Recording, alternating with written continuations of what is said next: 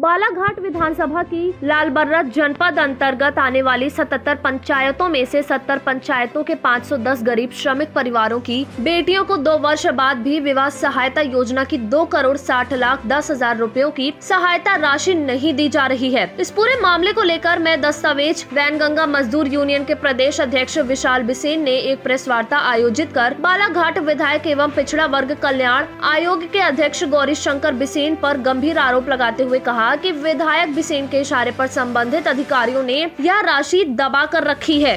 उन्होंने कहा कि विधायक बिसेन अपनी पुत्री को विधायक बनाने इस तरह के भी हथकंडे अपना रहे हैं जिससे गरीब परिवार बेहद परेशान है। इस वार्ता का आयोजन किए क्यों किए किस मुद्दे को लेकर? आज जो है हमने हमारे मजदूर यूनियन के बैनर तले एक प्रेस कॉन्फ्रेंस और अब मीडिया से मुलाकात का जो अवसर में रखा है। उसका कारण ये है कि बालाघाट विधानसभा क्षेत्र में लालबरा जन- जनपद जो एक सत्तर पंचायतों की जनपद है सबसे बड़ी जनपद है इस विधानसभा क्षेत्र।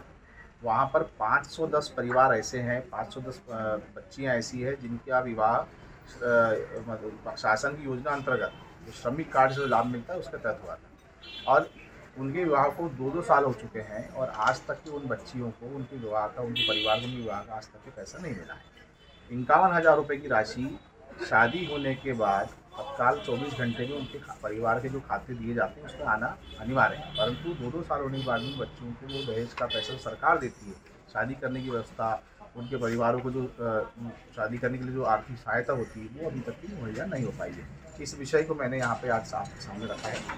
और हमने इस इसका पूरी जानकारी निकाली है। पूरी सूची हमारे पास में है, पूरे पाँच सौ दस परिवारों की सूची है ये।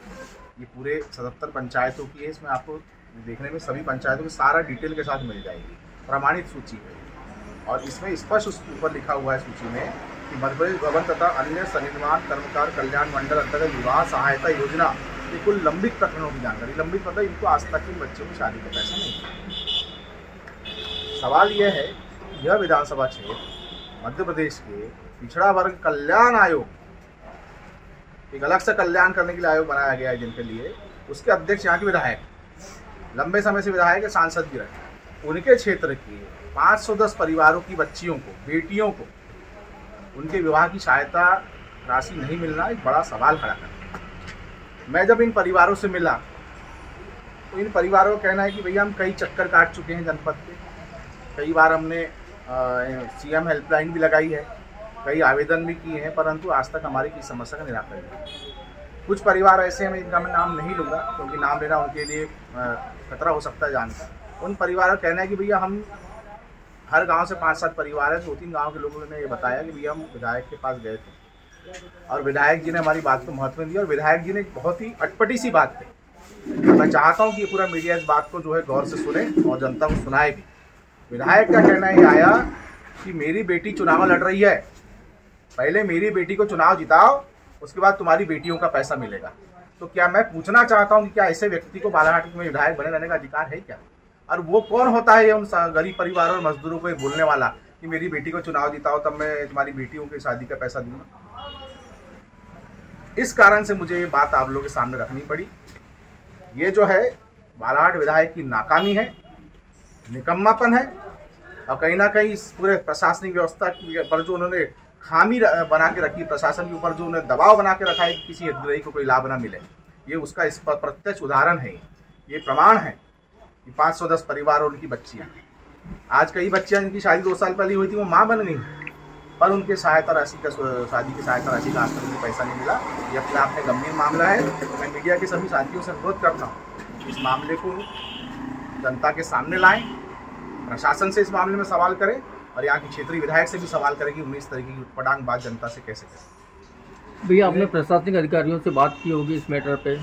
उनका क्या कहना है? प्रशासनिक अधिकारी जो है आधिकारिक रूप से कुछ बोलने को तैयार नहीं है। प्रशासनिक अधिकारी टाल मटोली वाला जवाब देते हैं। उनके जवाब में यह कहीं ना कहीं स्पष्ट बात आती है कि भैया विधायक महोदय का दबाव है कि जब तक मैं ना कहूँ तब तक राशि जारी न की जाए। और यह एक मामला नहीं है शादी वाला सहायता राशि वाला।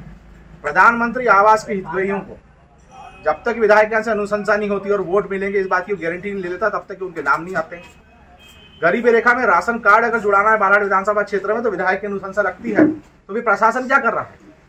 अब प्रशासन से सवाल करो तो वो कहता है कि साहब, विधायक का दबाव है।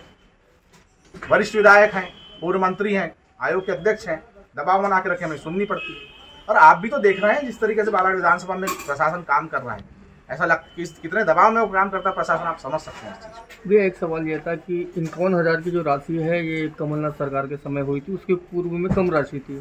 तो ये जो प्रकरण लंबित है ये कमलनाथ के दौरान वाले प्रकरण है या शुरू वाले भी प्रकरण है? बीच में पंद्रह महीने की सरकार बदली थी। उस सरकार ने सहायता राशि पच्चीस हज़ार से बढ़ाकर इक्यावन हज़ार कर दी थी। ये प्रकरण 2021 के हैं।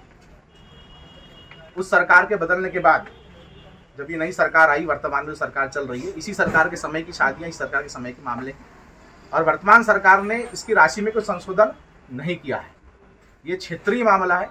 प्रदेश सरकार का इसमें ज़रूर इन्वॉल्वमेंट समझ में आता है पर क्षेत्रीय विधायक के कारण इन लोगों का जो है भुगतान रोका गया है। हम इसकी घोर निंदा करते हैं और हम चाहते हैं कि मामला जो जनता के समक्ष आए। बालाघाट जनपद के भी कुछ मामले हैं क्या हमारे पास जो सूची मिली है बालाघाट विधानसभा में मात्र लालगढ़ जनपद की मिली सबसे बड़ी जनपद है। सत्तर पंचायतें हैं बालाघाट जनपद में मात्र दस पंचायतें हैं। अगर दस पंचायतों में भी अगर लंबित होंगे तो उसके पीछे भी कारण आपको यही दिखाई देगा जो मैंने आपके सामने आज रखा है। आर नाइन भारत, बालाघाट से ब्यूरो, भास्कर भारद्वाज।